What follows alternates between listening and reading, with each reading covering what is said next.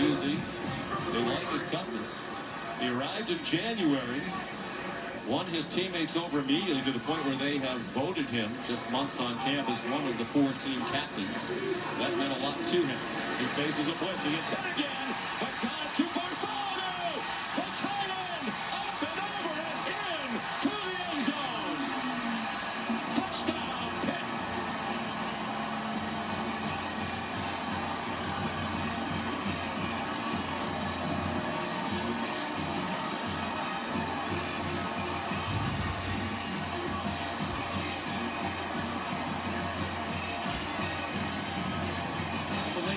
just unbelievable effort by Bartholomew and Kedon Slovis again throwing under duress.